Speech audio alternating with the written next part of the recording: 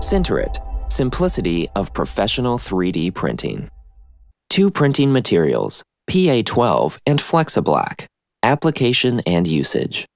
Before using the device, it is highly recommended to read the full printed version of the user manual. Sinterit Lisa allows to print using different materials. Selecting the material significantly impacts the mechanical properties of the printed elements. This is a manual how to prepare the Sinterit Lisa printer to print using different materials. It is recommended to use the PA12 material for the first printing, as it optimally seals the printing chamber. If we want to carry out our first printing using the Flexa Black material, then we should first spill a small amount of the PA12 material on the edges of both beds. If the recoater is in the way, reposition it manually to a favorable position with the power switched off. Next, distribute the powder over the edges of the beds.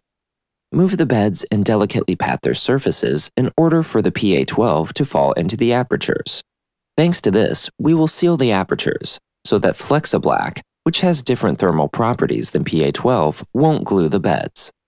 If we intend to change the material from PA12 to Flexa Black, then we can start printing without precisely cleaning the apertures surrounding the beds. As it has been already mentioned, PA12 constitutes a sealing for the machine. It is only necessary to reprogram the machine in order to adjust the printing parameters to the new material.